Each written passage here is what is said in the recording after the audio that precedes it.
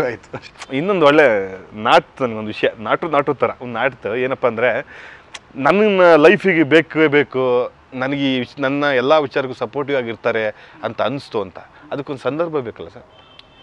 ನೋಡಿರ್ತೀವಲ್ಲ, ಈಗ ಸಿನಿಮಾಗಳು ಬಂದಿರುತ್ತೆ ಸಕ್ಸಸ್ಗಳು ನೋಡಿರ್ತೀವಿ, ಕಷ್ಟಗಳು ಅನುಭವಿಸಿರ್ತೀವಿ ಫೇಲಿಯರ್ಸ್ನ ಟೇಸ್ಟ್ ಮಾಡ್ತೀವಿ. ಅಂದರೆ ಸಕ್ಸಸ್ ಓಕೆ ಸಕ್ಸಸ್ ಇದ್ದಾಗ ಎಲ್ಲರೂ ಇರ್ತಾರೆ.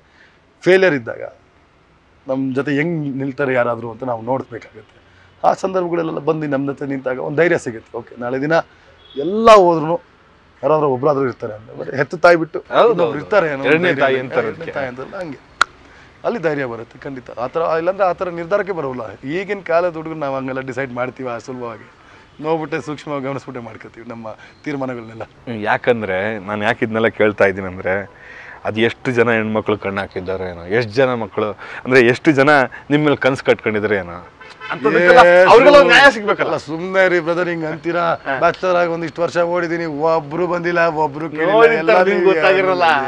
ಗೊತ್ತಿಲ್ಲ ನೋಡೋ ನೋಡೋ ತರ ನೋಡಂಗಿದ್ರೆ ಏನ್ ಪ್ರಯೋಜನ? ಹೆಣ್ಣು ಮನ್ಸು ಯಾರು ತಿಳ್ಕೊಳಕ್ಕಾಗತ್ತಿಲ್ಲ ಸರ್. ಅಂದ್ರೆ ನನಗೆ ನನಗೆ ಇನ್ನ ಈಗ ಎಂಗೇಜ್ಮೆಂಟ್ ಆಗಿ ಮದುವೆ ಆಗ್ತಿದೆ ನನಗೆ ಇನ್ನೂ ತಿಳುವಳಿಕೆ ಬಂದಿಲ್ಲ. ನಾನು ಹಲವಾರು ಸ್ನೇಹಿತರು ನೋಡಿದ್ದೀನಿ ಅವರು ಮದುವೆ ಆದ ನಂತರ ತಿಳ್ಕೊಂಡಿಲ್ಲ.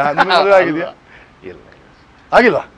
ಆಗಿಲ್ಲ ಅಯ್ಯೋ ಆಗ್ಲಿ ಅಂತ ಆಗ್ಲಿಂದ ಕಾಯ್ತಾ ಇದ್ದೆ. ಇನ್ನೊಂದು ಮುಗಿ ಮುಗಿತ ಅನ್ಕೊಳ್ಳಿ. ಇನ್ನೂ ಆಗಿಲ್ವಾ? ಇನ್ನೆಷ್ಟು ರೀ? ಆಗ್ಬಿಡಿ ಆಗ್ಬಿಡಿ ಜಲ್ದಿ. ಆಯ್ತು ಈಗ ನಮ್ಗೆ ಬಂತದು. ಕ್ವಶನ್ ಉಲ್ಟಾ ಉಲ್ಟಾ ಬರ್ತಾ ಇರುತ್ತೆ ಈಗ. ಎಲ್ಲ ಹಂಗೆ ಆಗತ್ತೆ ತಿರುಗ್ತಾ ಇರುತ್ತೆ ಹಿಂಗೆ. ಅಂದ್ರೆ ಯಾರೋ ಇದರ? ಇಲ್ಲ ಸರ್. ಅದೆಲ್ಲ ಆ ಥರದ್ದೆಲ್ಲ ನಮ್ಗೆ ಎಲ್ಲಿ ಆಗುತ್ತೆ ಸರ್? ಏನಕ್ಕಾಗಲ್ಲ?